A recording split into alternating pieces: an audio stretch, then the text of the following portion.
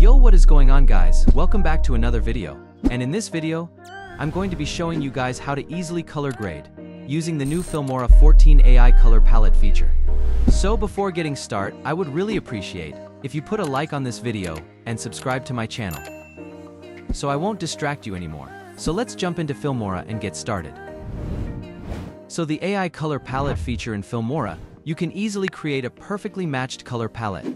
So it would help if you did simply copy colors from images or videos, and within seconds, you'll have a beautifully matched palette that gives you complete control over the final look.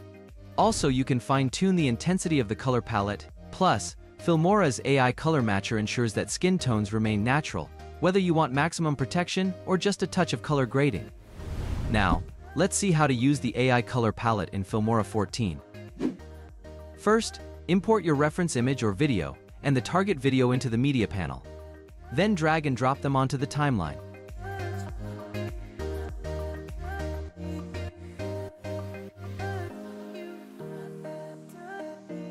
Then click on Color from the Settings panel and enable the AI Color Palette.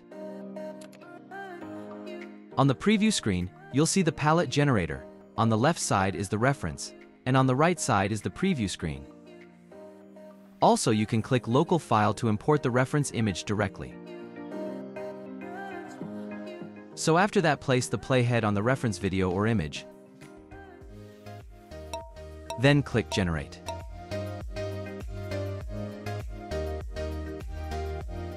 Next, adjust the palette intensity using the strength slider. If the skin tone is affected, use the skin tone slider to adjust it according to your preference. Then you can click Save and Apply. And you will see the new palette added to your collection.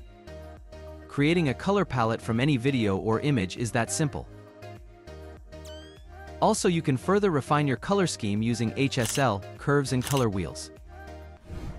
So as you can see with the help of an AI color palette, you can simply color grade your videos in a short time. So I hope you enjoy this tutorial, and if you like this video, please hit the like button, and please be sure to subscribe to my channel. So thanks for watching, and see you guys in the next video.